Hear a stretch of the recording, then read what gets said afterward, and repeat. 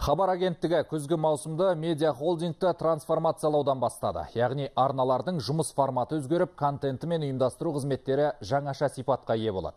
Бұл жөнінде агенттік басшылығы арнайы брифингте мәлімдеді. Трансформациялау аясында қыркүйектің бірінші күннен бастап біздің арна да атауын өзгерткен болатын. Эфирде сапалы сараптамалық бағдарламалардың қатары ұлғайып, репортаж жанрындағы хабарлардың саны да көбейді. Агенттік құрамындағы қазақ ТВ арнасында да өзгеріс бар. Бұл ұжымға білім және мәдениет телеарнасы қосылып, біріктірілген арна қазан айынан бастап эфирге шықпақ. Ерекшелігі арна елімізге ғана емес шетелде де таралады. Хабар арнасының да көрерменге тартуы аз емес. Жаңа маусымда тәуелсіздіктің 25 жылдығына арналған арнайы жобалар, ойын сауықтық бағдарламалар мен телехикаялар саны толығады. В ходе работы над стратегией развития 2020 жылға дейінгі даму стратегиясын жасау барысында біз бірқатар зерттеулер жүргізіп компанияның қызметіне талдау жасадық.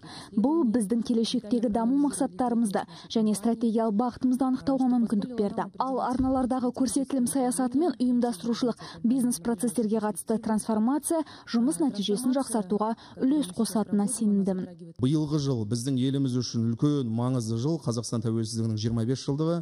Осыған хабар агенттігі әріптесім айтып кеткенде үлкен дайындықпен келіп отыр.